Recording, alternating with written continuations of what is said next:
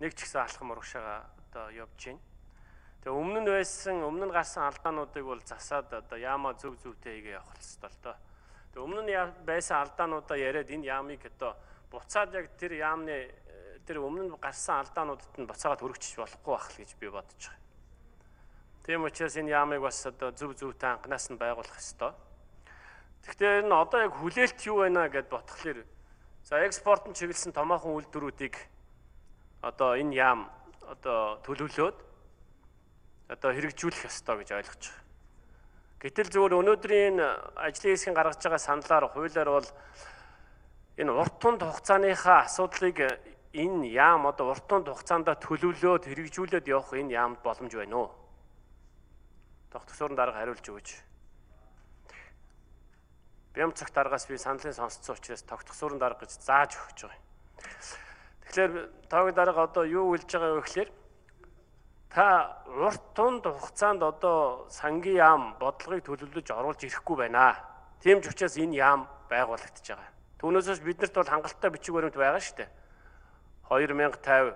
За өмнө нь бас 2030 гэв байсан. Тэгээ 5 жилийн үндсэн чиглэл зөндөө бичиг баримтууд байгаа. Энэ бичиг баримтуудын дагуу ажлыг төлөвлөлөөд одоо экспорт нь чиглэсэн гэдэг юм уу томоохон төсөл хөтөлбөрүүдийг хэрэгжүүлээд явах боломж өнөөдөр байна. Гэтэл яагаад явахгүй байгаа юм бэ гэж. Тэгээ энэ яам байгуулагдсанаар тэгээ одоо төлөвлөөд энэ яам хаана хүнд даалгавар өгөх юм. Энийг нэг тодорхой хариулж өгөөч. Яг хүнд даалгавар өгөх юм. Тэгээ энэ даалгаврыг яг хэн биелүүлэх юм. Тэгээ биелүүлээгүй бол яах юм. Биелүүлэхгүй бол тэгээд яах юм. Тэгээ ахаад 2 3 жилийн дараа яг энийг одоо энэ яам ч болохгүй байна. Одоо энэ яамыг сонсдог хүн алга байна. Үгийг гүйцэтгэхгүй байна. Сангийн яам сонсохгүй байна.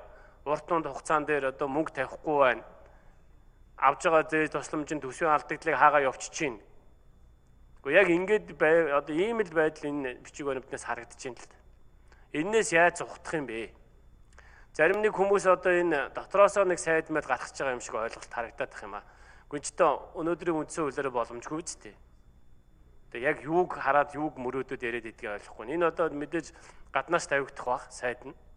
Тэгээ энэ сайд нь одоо мэдээж бэрч чадaltaа хүн болгон загнуулаад байдгүй өөрийнхөө ажиллаа хийгээд ер нь олон зүйлүүдийг нэгтгэхэд аваа явуучих чадвартай ийм л хүн байх ёстой гэж харж байгаа. Энэ одоо улсын ажилд санаа зовж байгаа шүү дээ. Ажиллаа хийгээд дуусгадаг л хүн байх ёстой гэж харж байгаа. Түүнээс биш нэг ярддаг хүн нэмэгдэхгүй гэж одоо За тулан дөржин тогтсон ажлын хэсгийн дарга. За Ганбаатар гишүүн ер нь санал голдуу хэллээ. Мэдээж энэ ямыг үр дүнтэй ажиллах асуудал үнэхээр чухал байгаа гэдэгтээ санал нэг байгаа. Энэ яамны үндсэн чиглэл Монгол улсын хөгжлийг урт богино хугацаанд төлөвлөх, түүнийг одоо хэрэгжилтийн уялдаа хангах ийм л одоо гол үүрэгтэй гэж ингэж ойлгож байгаа. За Ганбаатар гишүүний яриад байгаа ажлын хэсгтээс Ганбаатар гишүү ярьсан гол нь энэ яамны үндсэн одоо хэрэгжүүлэх асуудал нь санхүүгийн асуудал байгаамаа гэж. Энэ үнэн л дээ. Тэгэхээр санхүүгийн асуудал мэдээ сангийн яамнаар байгаа. Гэхдээ бид нар ажлын хэсгээр ярьж байгаад зээл тусламжийн хөгжлийн санхүүжилтийн нэгдсэн бодлого бол энэ яамн дээр байна.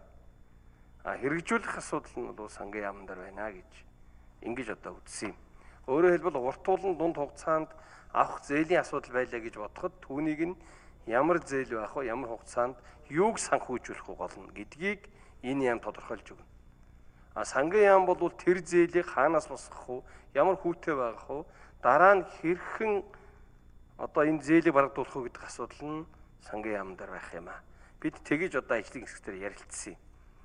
За мэдээж Ганбаатар гүшүүний ярьж байгаа энэ яамны үр дүнг сайжруулах хэрэгжилтийг хангахтай холбоотой томоохон асуудлууд бий. Төрүүч одоо бид хэлсэн.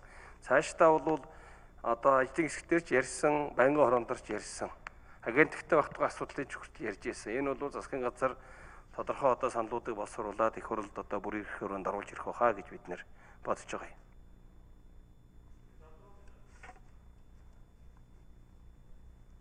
За Жамлын Ганбаатар гүшүүн тодруулъя. Та чи ажлын хэсэг дээр яриаг юм За эрхчлэлийн За 23 оны төсөв бол энэ яам байгуулагдсанаар бол эрс өөр төсөв орж ирэх байх гэж одоо бид бас ажлын хэсгээр ярьсан.